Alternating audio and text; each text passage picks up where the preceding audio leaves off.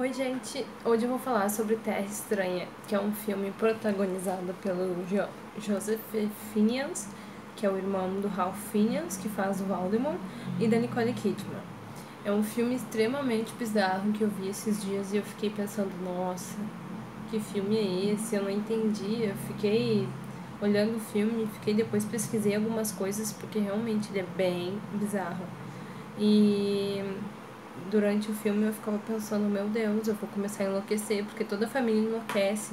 É um casal que se muda com os dois filhos. Um é um ator conhecido, eu não lembro o nome dele, mas ele fez o, remake agora do It, é o gurizinho malvado. E eles vão para uma cidade na Austrália, que é bem vazia, assim, perto do deserto e começa meio que a se meter em confusão, começa a fazer algumas coisas erradas. A guria é bem, assim, vamos dizer, solta e ela não quer estudar, eles começam a faltar aula e tem um rapaz que a guria se interessa que ele fazia aquela série, não sei se vocês conhecem, que era o Loki Leonard. Eu amava aquela série. E ele daí aparece agora, né, mais velho. Eu fiquei, será que é? Será que é? E era. E é ah, muito legal, sério, bem legal o filme, assim, mas é bem bizarro, é meio que um thriller psicológico também. E eles simplesmente somem durante uma briga dos pais.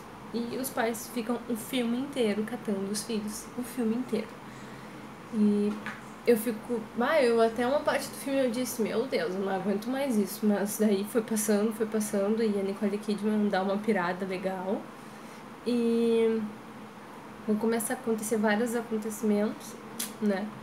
E daí no final, assim, para não entregar o filme, o gurizinho aparece. Não vou dizer como e nem porquê. Mas o gurizinho aparece de um jeito bem estranho. E é todo um mito, uma coisa que envolve lá a Austrália e o deserto, naquele certo lugar. É isso o filme, praticamente. Eu achava que o filme era melhor. Sinceramente, eu achei que o filme ia ser bem mais.